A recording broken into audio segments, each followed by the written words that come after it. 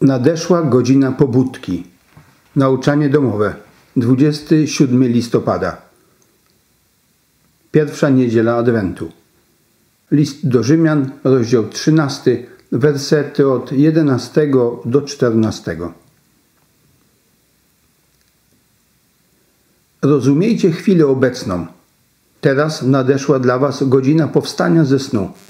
Teraz bowiem zbawienie jest bliżej nas niż wtedy, gdy uwierzyliśmy. Noc się posunęła, przybliżył się dzień. Odrzućmy więc uczynki ciemności, a przyobleczmy się w zbroję światła. Żyjmy przyzwoicie jak w jasny dzień, nie w hulankach i pijatykach, nie w rozpuście i wyuzdaniu, nie w kłótni i zazdrości. Ale przyobleczcie się w Pana Jezusa Chrystusa i nie troszczcie się zbytnio o ciało, dogadzając rządzom.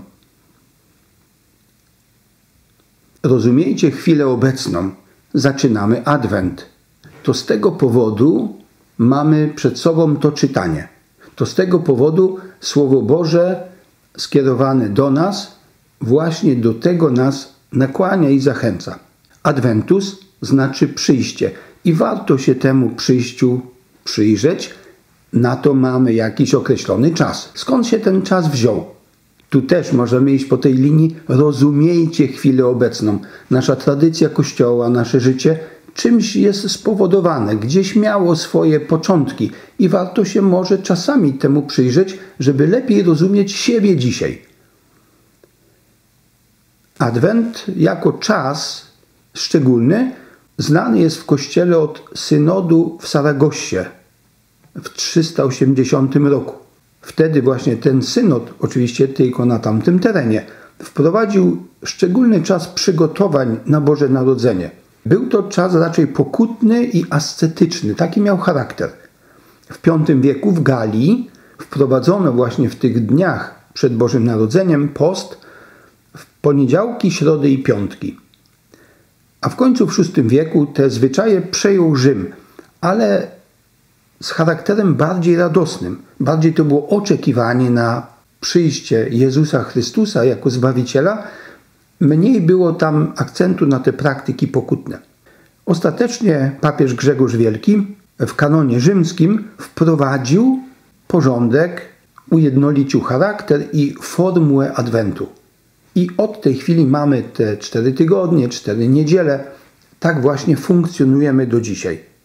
Te cztery niedziele ze względu na czytania, ze względu na przekaz, który Kościół nam daje, wynikający ze Słowa Bożego, to w pierwszym tygodniu, ta pierwsza niedziela, to powtórne przyjście Chrystusa.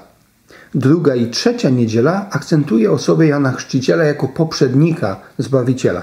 I w końcu w czwartą niedzielę mamy postać Maryi. Warto sobie to uświadomić, mieć taki ogląd Adwentu z lotu ptaka, aby łatwiej wejść w ten czas. Słyszymy, teraz nadeszła dla Was godzina powstania ze snu. Początek Adwentu to jest taki budzik, takie zawołanie: wstań, przebudź się duchowo. Tego przebudzenia być może niektórzy potrzebują, dlatego że przygniatają ich informacje o wojnie. Dla niektórych jest jakaś konsekwencja jeszcze tej epidemii.